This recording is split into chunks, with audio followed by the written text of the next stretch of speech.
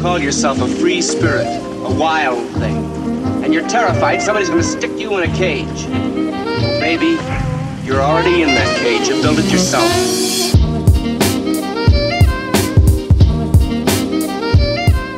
So I was perusing the tube the other day, as one does, and I came across a video by a creator that I love dearly. Truly think he's one of the best this platform has to offer and I decided that I was going to steal his idea. so Damon Dominique made a video the other day titled cleaning out my literal and metaphorical closets to songs I loved in high school and I thought that was a great idea mainly because I also have to clean out my closet. You're probably wondering, what do you have in your hand? Well, if you don't know what this game is, then you live under a fucking rock. This game is called We're Not Really Strangers. In Damon's video, he played a similar card game from the School of Life where it's basically just like a, a game full of questions. Now I don't have that same game that he played, but I do have this one. So the first step of this journey is gonna be going through the shit that I've already had underneath my bed. Oh God,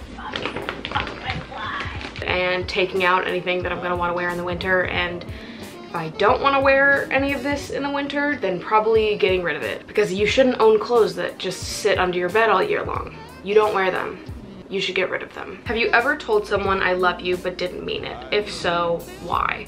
The answer to this is simple, you know? Um, it is no.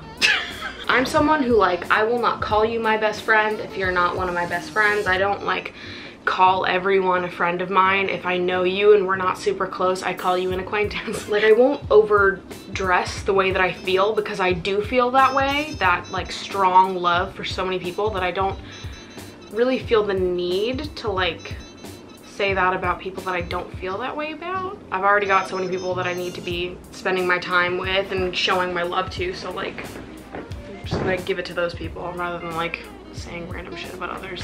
Is this annoying? Or does it make me look godly? Already come across two pairs of pants in this journey um, that I kept when I was moving because there were two pairs of pants that I loved, but I have since grown out of them. I have these pants that are white in the front, black in the back. I fucking love these, but I wore these when I was like a size 10. I kept these because I do love them and I didn't want to get rid of them because I was like, well, what if I lose weight and then I can wear them again and like they're so cool. But I just feel like since then, even in the last couple months, I've changed a lot how I see my body and in my body image journey, which is wild. Again, yeah, these are a size 10. Couldn't be me. Even in the last three months, I feel like I've gotten rid of the idea inside my brain that's like thinness is just around the corner and like I'm gonna, my body's gonna look different and it's gonna be like, I don't wanna live like that anymore it just it's not healthy for me there's also no point to it because like i could just go out and find pants that look like these that are in my current size rather than being like, you can't wear cool clothes until you're this size again. Like, who does that help? No one. I feel like that might even be shocking to hear me say that I thought that way about myself up until very recently, but the process of accepting your body, there's like so many different levels to it, and I feel like I got good at accepting my body on a day to day level first, which I feel like is common, but then accepting your body on like a future trajectory level is difficult, I feel like, because you can work towards accepting your body on a day to day level, but then there's a voice inside your head that's like, this is just your day to day, and at some point your body's gonna look different, and maybe you'll be the size you were when you were 17 again. But it's like, I'm, I can't live like that. I can't live constantly like hanging on to the future. The future holds some like superior body that I don't currently have. When it's like, I just wanna stop placing like one body type above the other and like I've accepted my body on a daily basis. I've learned to love this body on a daily basis and like this is my best body. I look fucking hot. This is your PSA to get rid of the shit that you've been hanging on to to cater to your future body, whatever you've been hanging on to. Your body right now is your future body. It's your best body. Love this body. Stop planning for a body that doesn't exist. What are you more afraid of, failure or success, and why? This feels like an easy question because I have never been afraid of failure because I know that it's not in the cards for me. I feel like I've been more afraid of success in the way that I'm, I'm I'm afraid I won't like it as much as I think that I'm going to, or I'm afraid that I'll get bored quickly. If I become successful too quickly, that I won't feel satisfied later on in life. If success doesn't come at the right time, that I might become worse because of it. Like I don't want to be super successful at the age that I am now. I would rather be somewhere in the middle. Like I have a lot of daily successes and a lot of small successes, but there's still so much more growth that I want to have in like my career and in my personal life and everything. Like I feel like it would be so shit if I was at the top of my game right fucking now. If I become super successful in like five years or even in 10 years or even 20 years, will I still feel then that it was too early? And I don't know, I just want my life to keep getting better. And sometimes I worry that if you become so successful and you reach a certain height, it's like nothing will ever satisfy you like that again.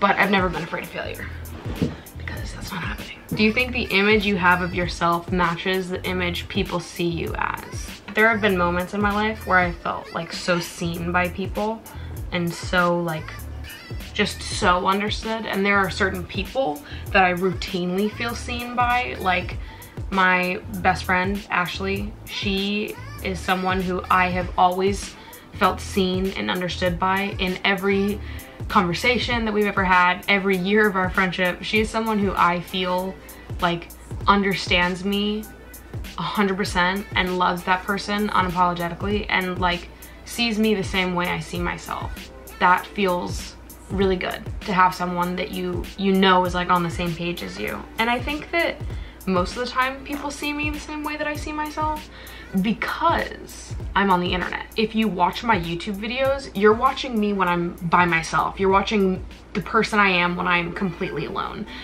which feels like the most authentic version of myself. Like, I always find it so weird when people are like, people do like characters on YouTube and stuff, like it's not real. Because I feel literally the exact opposite. the most authentic version of myself is the person that you see on my YouTube channel. Obviously it's not all of me because I'm so certain of myself and who I am and who I'm not. I think that like other people don't really have a hard time figuring me out. But I also think that I am misunderstood sometimes. I don't think that's necessarily a fault of my own though and more just like a conflicting personality thing. Like if someone misunderstands me, I don't really think that it's because of me necessarily. I think it's probably just because our personalities aren't compatible with each other. So of course they see me in, you know, a different light or whatever. Does that make sense? I feel like I've been filming so many more videos without makeup on recently. It's probably largely in part because I work for an acne skincare company now. So I feel like I'm just like thinking and talking about acne and creating content about acne all the time for work. So now like in my personal life, I'm like, do I need to? I think I'm okay. Even before filming this video in my brain, I was like, should I put on makeup? But it's like, why? Because I'm gonna film this video and then sit in my bed for the rest of the day. So like, next up we've got the closet. And ignore the mess on the bottom. There's really not a mess on the bottom. It's just that I have a cat carrier in there right now and I don't feel like using a ladder to put it all the way up top because I feel like I'm gonna be using it in the next couple days.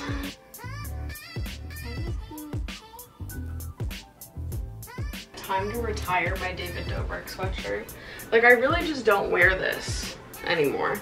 I don't really want to get rid of it though because I do like it. I go through phases with my sweatshirts where I will only wear hoodies and then I'll go through phases where I like only wear crew necks. Right now I'm totally in a crew neck phase and I just refuse to wear any of my hoodies. Condolences to David Dobrik. crew neck, but I also haven't worn this in a while. It's a Kentucky sweatshirt because my brother goes to the University of Kentucky. Otherwise, I don't know, I would have no reason to wear a Kentucky sweatshirt. I really thought that my head was gonna fit through this. I really thought, you really just watched my brain think that it was gonna fit through here is if I don't have fucking Megamind. You know what? No, don't even try because it's gonna get stuck and then you're gonna be like a little kid with its fucking head stuck to the banister. And that's not a conversation that I wanna have with the fire department.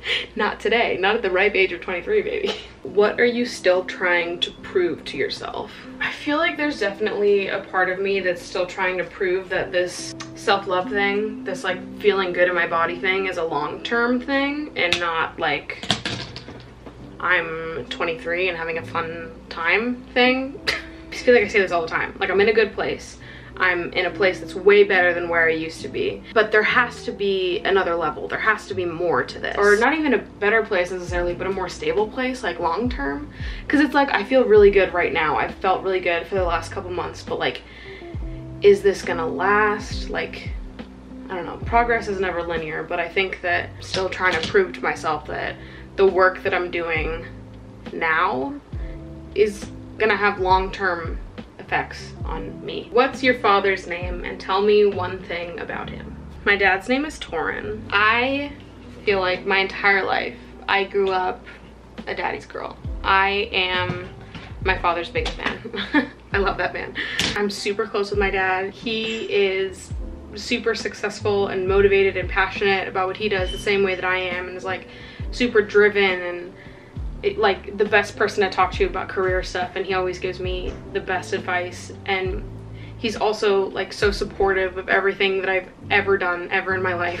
Anytime that I do something that I'm successful in or I'm becoming sort of successful in, like step one is be successful, step two is call dad. like I just like want to make him proud of me and I feel like he is proud of me. I know that he's proud of me. He tells me all the time. Growing up with a dad like him. It like he's given me such high standards for like how men should act and be because he is just like a wonderful person. What's your mother's name and the most beautiful thing about her? My mom's name is Anne, Anne Michelle to be exact. Without a doubt, the best part about my mom is that she was born to be a mother. I think that she is above all else a really good mom. If you know my family, you know that like my parents would both like live, breathe, die, do fucking anything for us, as parents should. Like your parents should do that for you. Being the oldest, I got to watch the way that my mom was a mom to my siblings as well. And I think it made me understand her more because of it. When you're younger, you're just like a bratty fucking teen. It, like my mom could have done anything and anything and would have been like,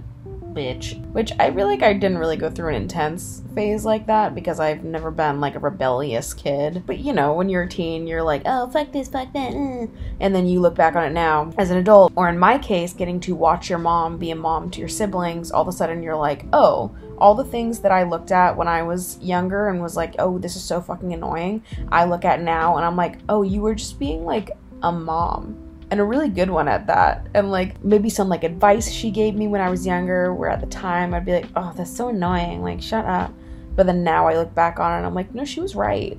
And I'm glad I listened to her. Even though I disagreed with her at the time or thought that it was annoying, like always cared and still do care very deeply about like what my parents think. Getting to watch my mom be a mother to my siblings and like really seeing and understanding it because I feel that same sort of like protectiveness towards my siblings and like I also want the best for them. So like seeing my mom be a mom to my siblings and feeling the same way that she did, I like understood anything that she had ever said to me or maybe as a teen I didn't agree with it.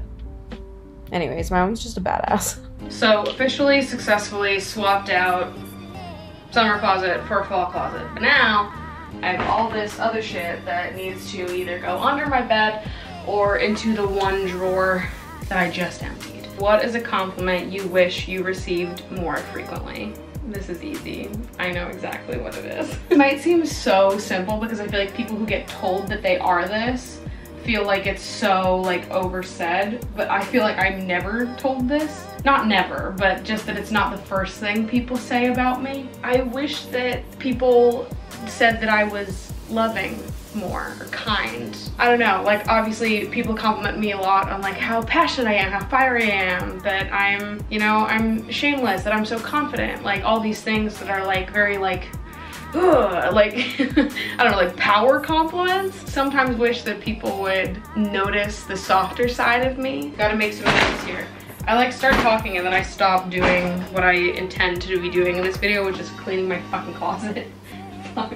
What is my biggest weakness? This is something that all of you know about me and you are all going to agree with me on this one. I am um, at times overly ambitious. I have all these grand plans of things I would like to create and um, the life I would like to live and I'm just like, well fuck it, let's live now. Let's sleep six hours a day and do everything that we want to do. And then I can't do it because I'm like, no, you have to like take care of yourself. What are you doing? Pitch all these beautiful, wonderful ideas. Truly beautiful and wonderful, but um, that are just like so ambitious, but I'm like, I need to do it now before anyone else does. um, when sometimes I just need to be like, okay, it's a marathon, not a sprint, baby girl. Like, we can relax. Starting a podcast in the middle of all of this while I have a full-time job and can barely upload YouTube videos on a consistent schedule. Really, that was one of the more ambitious things that I've taken on in my life.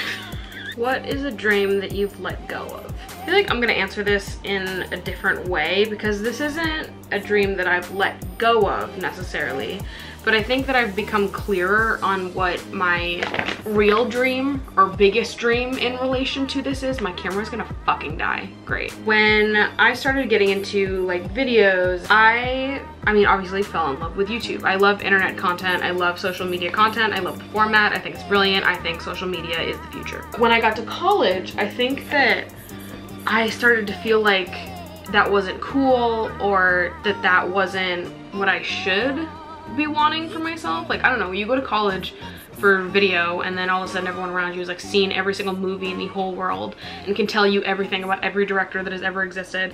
And I'm like, I could tell you everything about every single fucking YouTuber that has ever existed. I haven't seen all of the great movies that maybe someone who went to school for what I went to school for should have seen by now, but it's like, I don't care that much.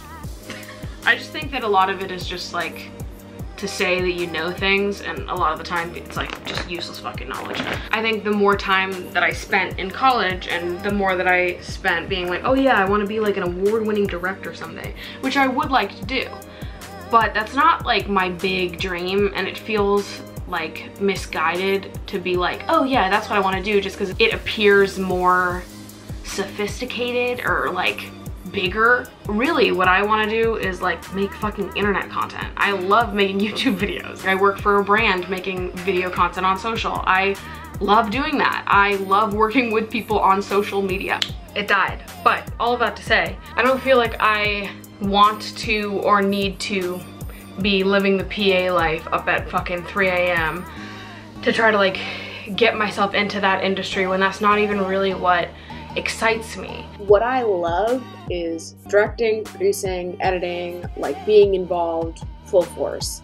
I can do that and feel fulfilled doing that through YouTube right now. I don't have to wait. I don't have to like be a PA and spend like fucking 10 years being somebody's bitch on set. I can do what I love doing and feel fulfilled in that right now. Like success to me doesn't look like working in Hollywood and being on movie sets. Like that's not I don't care. That's not what like matters to me in my life. What matters to me is that I get to put my talents to good use today and every day and feel fulfilled doing that. I just don't feel the need to like make myself sound more sophisticated, fucking big time when it's like I think that YouTube is big time and I think it's fucking bullshit that we all have to be like oh, I'd like to be some big Hollywood director in order for someone to take you seriously. Go ahead, watch my talent on my fucking YouTube channel every single day. Like, you don't need to see me in Hollywood to know that I'm good at what I do. Bye. This video is pretty much done at this point. I packed everything beneath my bed. If you have not checked out my podcast, Girl Under You, available on Apple Podcasts, Spotify, um, and we have a YouTube channel where we upload the video podcast. I like how I'm saying we, as if it's anyone besides fucking me. it's over there too if you guys want to go check that out.